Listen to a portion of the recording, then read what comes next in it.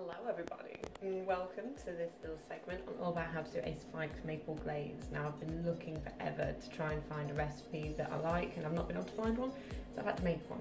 So what you're going to need is butter. Obviously I'm vegan so I'm not using butter butter, I'm using soy spread because it'll melt down easy enough.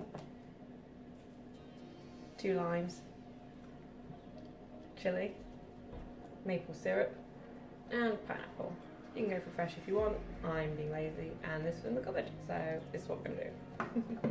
now there are two ways you can cook this. You can either do it on the grill or in the oven. We're going to do both methods today just so you can see what they're both like, then you can choose which one works for you. So you want two tablespoons of butter. Butter ideally needs to be melted, so what we're going to do, move them. Give that a few seconds to warm up and get back to this. Hmm, this one first, right? You're gonna wanna chop that bad boy up.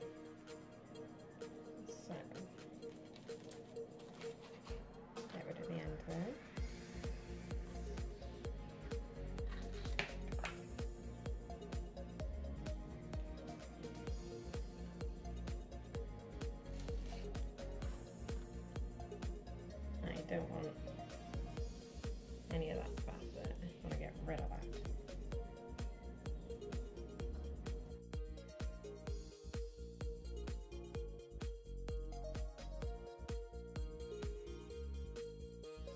And a very important one, after you've been touching chilies, please do not touch your eyes or your face or your loved ones or a plant you're particularly fond of uh, because it's probably going to do some damage.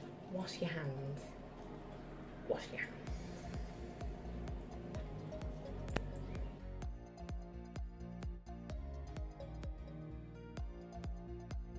Got your two limes cut in half and you've chopped up your chilli, we're just basically going to throw that into the pan of uh, melted butter with our maple syrup.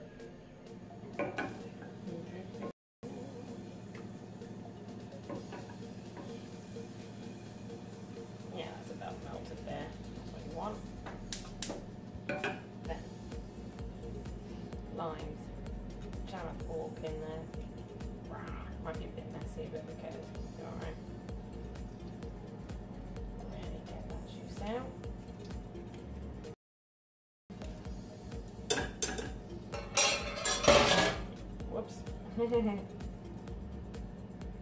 could see my face, you'd see it's not bothered, so it's easily rectifiable. One line.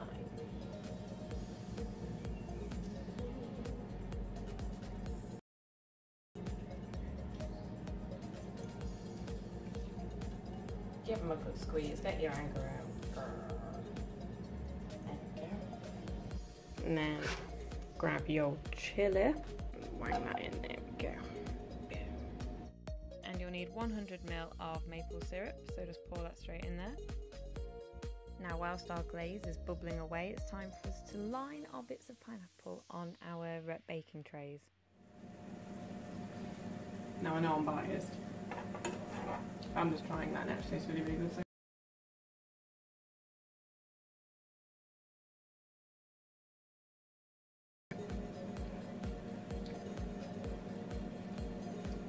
yeah, for me that glaze is about right, so in fact I'll leave it up to you.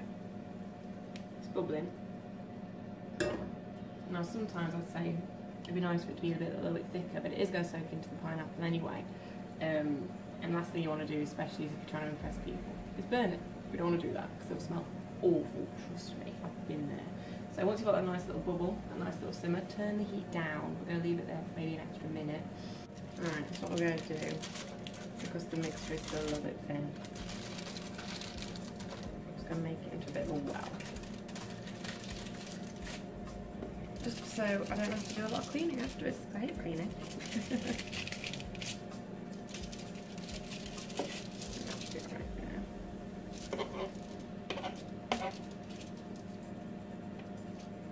Right, let's do this.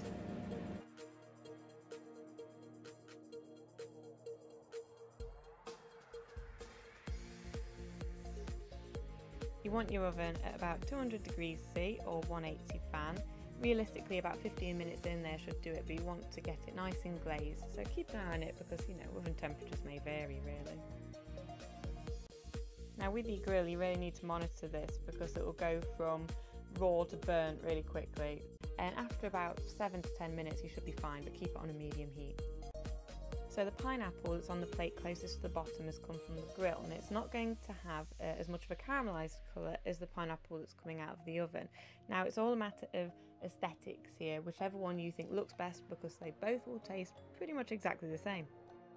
Success! You did it! Now realistically you can use this glaze on anything, you don't have to use it on pineapple, I've just used it on that because it tastes delicious. So have a little dance, enjoy your success and I'll see you again soon.